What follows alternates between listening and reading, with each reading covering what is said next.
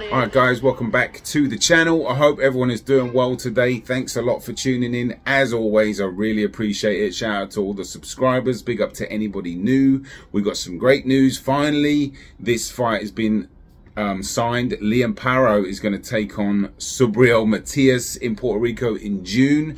This fight was spoken about a, a few weeks ago. Then um, Rodriguez came into the mix. I made videos about all these except for the Paro one originally. And then um, Rivera threw his name in the hat. And, you know, now finally Liam Paro, which I think personally is probably the best fight stylistically out of the three.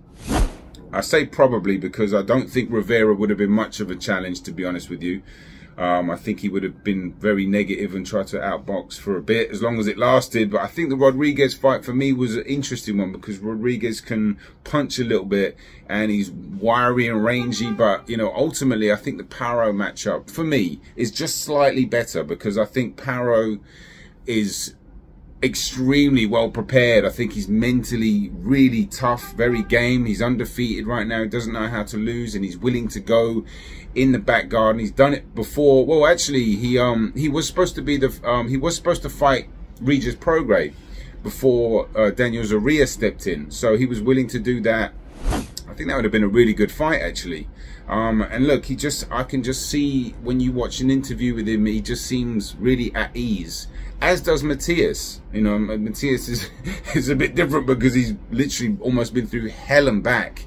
I've done multiple videos on it, and you know that's one of the things that endears me to him is, is just his spiritual energy, to be honest. But Paro, very similar in the sense that he doesn't leave any stone unturned, it seems, in training camp. And I, I say that, obviously, I don't know. I'm not in his training camp, but I, I, just see his energy. I see the way he fights. I see his physique. It's just getting more sturdy. He's very stocky. He's got a good low center of gravity. He's a southpaw.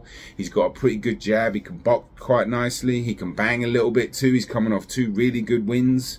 Uh, you know, defeated Montana Love very decisively, knocked him out, and then he knocked out his countryman Brock Jarvis in one round with a beautiful left hand. And he had a fight against um, Alamo, I forgot his first name, but I can't find that fight um, online. But I, on BoxRec it says Paro got dropped in the first round. I don't know if he was hurt badly or or how that, you know, what punch did that. If anyone knows, let me know in the comments. But, you know, um, in terms of the Matias fight, look, it's no secret you're you're going into you know the lion's den basically. When you're fighting Matias you're fighting you you got to take yourself to a dark place not just in training camp but in the fight too. And I think Paro does take himself to a dark place in most training camps because he just seems like I said very well prepared mentally physically spiritually. Um, but you know the the fight itself it's going to get deep and it's going to get dark and sometimes you know you I, I feel like I've been saying it for a while you really need a pure boxer to be able to you know slow the fight down clinch properly um, use a good jab if you can. I know Matias uh, Paro's a southpaw so you know the jab situation will be a bit little bit different but clinches too. Matias is very good at clinching and he's I'm also working on a video on his on his punch technique, right? The science behind it. It really is. I'm trying to get my head around it. It's so good. It's it's very unorthodox, but how he gets so much leverage and he whips these shots in whilst going backwards, whilst trying to grapple with his opponents. You know, I've I've spoken about this before. It's I don't know. I don't really understand it. It's amazing because I really focus on punch technique a lot. And he just whips these shots in there like that. And he's, like I said, he's going backwards. He's grappling with an opponent. He's knocked opponents down whilst going backwards. He's knocked opponents down whilst hitting them on the head like that. And I've said before, scientifically, when you're, when you're landing a shot and the power travels through your bone arms like that, maximum power, he ends up catching guys like that and he still drops them, still hurts them. And Jukembayev actually hurt him in the fourth round with a mean overhand left. Jukembayev though unloading. There's a straight left, a couple of big straight lefts. Oh, and now Matias might be hurt. Matias is getting hit. and you know it buzzed Matias and he just came right back five seconds later maybe six or seven seconds later so what like whatever you do to deter him he's just coming right back right back through you. And it's just you know that that's you can't teach that. You can't teach that kind of heart which is why i think we're going to get a great fight because i think liam Paro's got you know something similar. I don't know if it's as uh, battle tested or as deep as Matias is we're going to find out. Um, one thing I think, you know, obviously a lot of opponents that do fight Matias end up quitting or, you know, the corner, I think it's five in a row now. But I'm going to compare Paro to Jukembayev a little bit because Jukembayev out of the, all the other fighters is the only one that's pushed on and has actually managed to get past that defeat, I think, properly. At least, I'm sure I haven't looked at all the others deeply, but I know Jukembayev is doing well because it's what, how you deal with the, the loss mentally after, you know, taking such a beating basically but he's on a three or four in a row win streak and I, I, think personally if I'm gonna if I'm gonna say from an early thoughts point of view who wins this? I would say it's a rough fight for Paro. It really is. And I think down the stretch I think Matias would be a bit much for him but I think he'll put up a decent fight. I just think he has enough boxing tools to see it out and he's going to get dragged into a fight which favors Matias so I think a late stoppage for me, maybe a corner stoppage again. And, um, but, you know, there'll be no shame in that, really, to be honest with you. I think it depends on, it's how you act after, you know, I think. But, you know, he, he might box out of his skin. He might, he might surprise me. Um, I hope he does. I hope we get a good fight, and I hope both these fighters come out the ring healthy. That's all. That's all we can ask for. That's all I ever ask for. And you know what I mean. It's one hell of a battle. Like I said, you got to take yourself but he's he was a former rugby player, Paro. so he's picked two of the toughest sports in the world, rugby and boxing. So he's going to be ready for war. And, you know, they're going to have to put a good game plan together. They're going to have to understand how to deal with those sharp, quick whipping punches that Matias throws from unorthodox positions.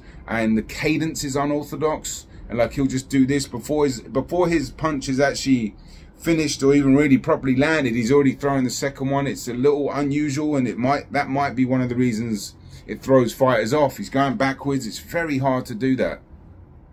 I don't quite know how he does it. I'm looking into it in a bit more detail, as I said, and I'll put that video up in the next few days you know, so I'll try and break down scientifically what's going on because when he when he lit up Jukembayev, right, and he was stationary like that, and he just whips his hand around like that, you see the muscles just light up in his left arm, just from out of nowhere, and that he's just going up as well because his arm's down here, so it's going against gravity, whipping it round and, and dropping Jukembayev in in um, spectacular fashion, really, but you know it's just all the other things that come with with the pressure the pressure the pressure and him being able to take a punch and him not being deterred at all and just keep walking through whatever firepower you've got.